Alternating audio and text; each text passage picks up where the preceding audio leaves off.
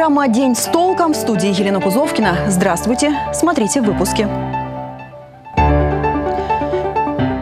Бийск закрыт для въезда и выезда. Из-за непогоды движение в регионе ограничено с утра на 14 участках.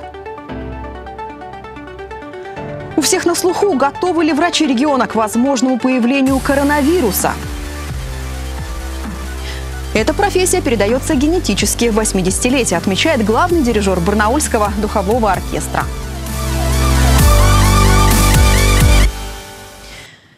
Итак, Бийск закрыт для въезда и выезда в связи с непогодой. А с утра движение ограничили на 14 участках региональных трасс. В этот перечень попали трассы от предгорных районов до Республики Алтай, от пограничных муниципалитетов до Кузбасса и Казахстана.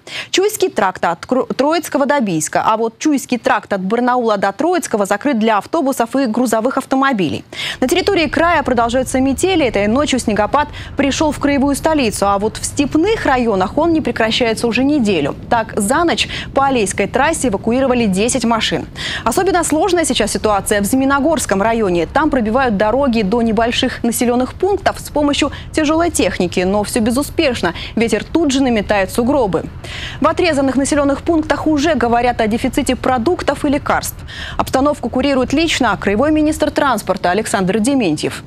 Если возникает ситуация, которая у нас э, грозит тому, что у людей заканчиваются продукты питания, в ФАПе заканчиваются лекарства, значит, максимально стараемся до этого населенного пункта дойти, до куда можем. Если доходим до него до конца, хорошо, если нет, тогда связываемся с МЧС и дальше, откуда не можем, там перебрасываем тремя, восьмью, десятью рейсами на снегоходе. Между тем, Алтай-Автодор заявляет о планах очистить все дороги края до выходных, пока снег рыхлый. Ведь следом за метелями в регион идут морозы. В плену непогоды сегодня оказалась и наша съемочная группа. Журналисты рано утром выехали в Шилоболихинский район, чтобы подготовить материал о том, как в таких условиях выживают дикие звери. Правда, сразу несколько машин застряли в снегу. Итак, мы на полпути между Шилоболихой и, и пустотой. Кто там в Москве соскучился по настоящей зиме, по снегу, приезжайте к нам в Сибирь. Заодно поможете наконец-то откопаться. Уже второй час летим. Спустя время машину удалось вытащить и пересесть на снегоходы. Это значит, что съемкам быть, хотя и с опозданием. Переходим к другой актуальной теме. Через посылки и предметы подхватить смертельный коронавирус невозможно. Этот факт сегодня подтвердили в региональном Минздраве. Специалисты рассказали, что коронавирусы ранее уже регистрировали. Вспышки заболеваемости были отмечены дважды – в 2002 и 2012 годах. Тогда количество заболевших исчислялось десятками тысяч. Инфекцию победили. Вирус, который распространяется по планете сейчас, новый вариант коронавируса. Он циркулирует в популяции животных от змей и летучих мышей мышей перешел к людям. Передается как обычная простуда воздушно-капельным путем. На сегодняшний день вирус унес жизни 132 человек. В Алтайском Минздраве подтвердили, в России людей, подхвативших опасную инфекцию, пока нет. В стране, а также у нас в регионе усилены меры профилактики. Туристов тщательно осматривают по приезду из-за границы. Выясняют, откуда они прибыли и был ли контакт с носителем болезни в течение двух-трех недель. Специфических характерных именно для болезни, вызываемым этим вирусом, симптомов нет. В целом это клиническая картина очень схожая с универсальной картиной, характерной для многих ОРВИ. Это кашель, это может быть сухой кашель, это может быть кашель с мокротой, это повышение температуры тела, это признаки интоксикации, это может быть одышка, это чувство сдавления за, э, за грудной клеткой. Если пассажир подозрительный, его анализ отправляют в Новосибирскую лабораторию. Алтайские медики отмечают, повода для паники нет, пока жертвами коронавируса стали лишь 2,5% от общего количества заболевших. Статистика гибели от обычного гриппа куда более печальна. Кстати, с сегодняшнего дня в Алтайском крае из-за всплеска заболеваемости ОРВИ и гриппом ввели карантин. Распоряжение подписала главный санитарный врач по Алтайскому краю Ирина Пащенко. Это значит, что массовые мероприятия в общественных местах не проводят. В школах, детсадах ежедневно проверяют количество детей. Если в группах отсутствует более 20% от общего числа, занятия отменяют. В магазинах, аптеках и медучреждениях введен масочный режим. Продолжаем выпуск. Треть депутатов Думы Бийска вновь попалась на недостоверных сведениях в декларациях за 2018 год. Правда, по сравнению с прошлым нарушений меньше. Имена нарушителей не называет ни прокуратура, ни городская дума. А сами депутаты, в том числе и лидеры фракций, пояснили, что им не рекомендовали распространяться на эту тему. Впрочем, как нам стало известно, в списке прокуратуры есть представители почти всех партий. Ситуацию прокомментировал председатель Думы Бийска Сергей Ларейкин. Он скрывать не стал. Его декларацию правоохранители также признали неполной. Не, не скажу, что без вины виноватые, но вопрос в том, что есть просто технические ошибки, ну, к которым нужно прийти ну, с пониманием. Да? А есть как бы понятно, что если не указал 24 прицепа и 10 квартир, то, наверное, все-таки здесь речь идет больше об умысле, либо о небрежном отношении к составлению. Теперь каждый конкретный случай рассмотрят на комиссии, которая будет состоять из семи человек, и по ее итогам на ближайшую сессию вынесут вопрос об ответственности. В Думе поясняют, наказывать декларационных нарушителей будут уже по новым правилам, где помимо исключения из депутатских рядов есть более щадящие меры, например, просто предупреждение. К новостям культуры заслуженному деятелю искусств России, главному дирижеру Барнаульского духового оркестра Владимиру Клименко исполнилось 80 лет. С маэстро встретилась Полина Жданова. Говорили о музыке, ни слова о личном.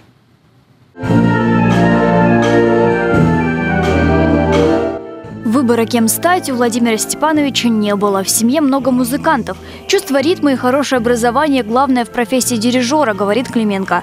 Помимо, конечно, ряда человеческих качеств терпение, потому что с лишние, и лишние эмоции, лишнее какое-то такое, понимаете, движение направлено на э, ненужную требовательность. Вот. Это да, усидчивая повседневная работа.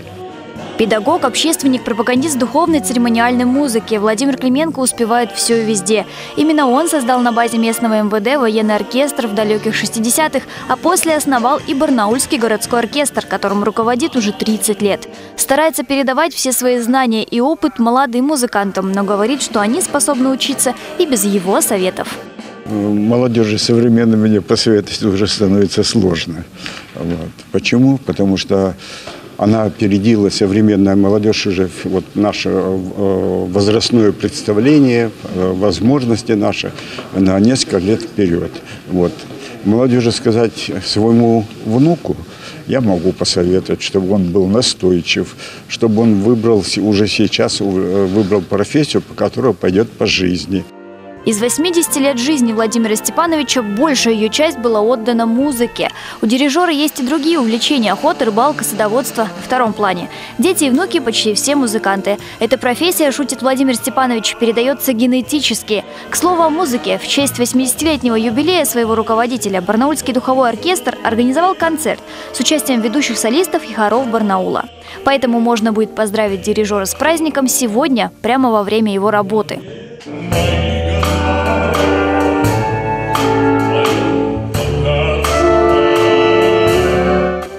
Полина Жданова, Алексей Фризин. День с толком.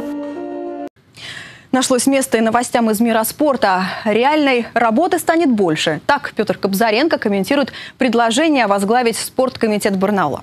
Предложение он примет. Говорит, на новом месте сможет самостоятельно решать важные вопросы. Начать планирует в том числе с вовлечения в спорт людей среднего и старшего возраста большая есть такой пласт э, работы с, по частному партнерству с бизнесом, э, создание и способствование созданию открытия спортивных клубов. Фитнес, скорее всего, клубы. И тренажерные залы не так сейчас как бы привлекает, а фитнес очень большая категория людей э, посещает фитнес, велес, э, группы. Более доступно и свободно, в свободной форме можно людям заниматься. Все в шаговой доступности. Кроме того, в планах Кобзаренко на новой должности провести реконструкцию и ремонт спортивных сооружений. А еще он обещает больше городских мероприятий. Поздравлять с переводом его можно будет в четверг. Именно тогда должен состояться разговор с министром спорта. В завершении выпуска добрая, милая история. Лисенка приютила на время семья из камня на Оби. Маленького зверя люди обнаружили у себя в сарае. Еще маленький, маленький. Как сюда зашел? Как рассудили хозяева, животное забежало в сарай, прячась от собак. Выгонять зверька не стали, наоборот, подкармливали. Испуганный лисенок не покидал помещение, а даже пытался зарыться в зерне. Спустя два дня каменцы поймали животное, отвезли его за карьеры и выпустили на волю. На этом у меня все. Через несколько секунд о погоде. Спонсор прогноза – компания «Эвалар». До встречи.